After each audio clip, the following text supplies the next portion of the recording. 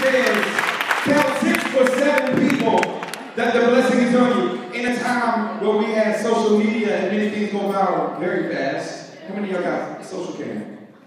Okay, how many y'all got Twitter? No? Y'all want use Twitter more? Okay, how many y'all got MySpace?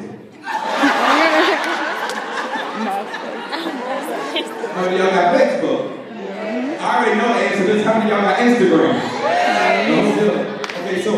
You know, in a time where things go viral ever so quickly, this is a time, and it, should I say this? Negativity spreads faster than positive messages. Y'all do know that, right? But we're going to dispel that right here today in Winston-Salem, North Carolina, because today we're going to infect the house with the blessing.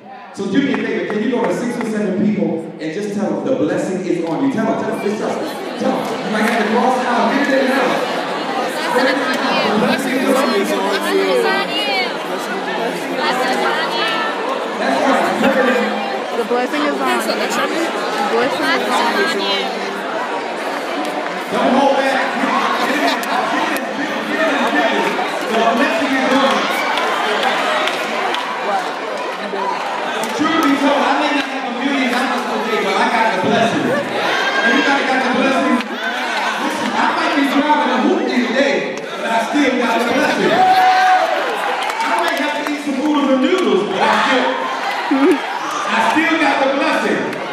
Any- Anybody know what I'm talking? I, maybe I don't have Ruth Chris money today, but I still got the blessing. I'm talking to some college students. Any college student got the blessing in the house? Yes.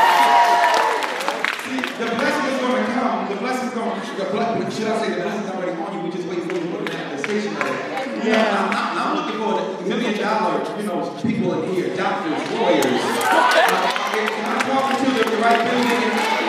Look at and tell them, I got that kind of a blessing. That kind of a blessing. I really did. I want to tell somebody, I got that kind of a blessing. That See, I, I know all too well when you don't have a lot of money and uh, you're trying to make it work, you know, and oodles and noodles is the best meal since sliced bread. Mm-hmm. You know what I'm talking about? Real me? Like, you don't have a lot of Yes, sir. Your parents have put the money in a bank account, put the money on your account, and you wait for your Pell Grant or your student loan to come through. You're not talking oodles and noodles. Jesus. Yes. Oodles and noodles gonna save your life. They thought you could get it out. And see, y'all, y'all think I don't know what I'm talking about, huh? But you gotta have a Tupperware bowl. Yeah. Woo, Oh, Jesus. in the right house. I know. And see, what you have to do is you have to ever so gently put some cold water. Yeah. Uh-huh. And then you put the oodles or noodles in. Yeah. Listen, I don't need a straw. Hallelujah. All I need is a microwave. Hallelujah. Come on. Who am I preaching to tonight? Yes. And see, all you gotta do is you just need a three and a half to four minutes. Now, Yeah. don't burn your hands now. You gotta let it cool up. Who am I talking to? You gotta let it cool up. Then you gotta let some of that water, you gotta take some of that water off because it's still in steam. You gotta finish cooking it because you're gonna use it for a while it's going. Y'all know what I'm talking about? Wait.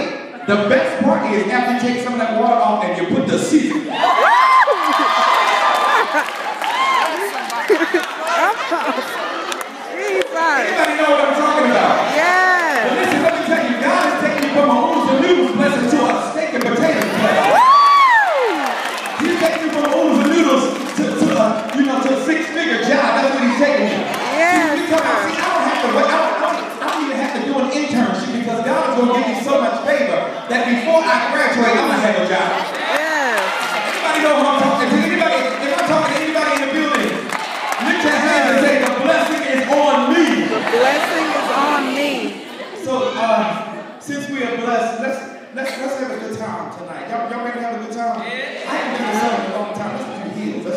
Let's do. John McLaughlin yeah. this song. I wrote it some years ago. I wrote it during a, a crazy season of my life. I was walking around the store and uh, a mall, and I was window shopping because I couldn't do nothing else. But anybody know what I'm talking about here? Yeah, I'm, I'm just gonna be real tonight. I was window shopping and I was my, my spirit was broken. Anybody ever been in a place where your spirit been broken? My spirit was broken. And I just, I, I don't know, the, the, the Bible says David encouraged himself in the Lord, and some, somehow I found a way to encourage myself, and I just started singing around you know, I am here with the stripes, I am here. And then I started thinking about all the things that I was already going through, and I just started saying, God is good to do.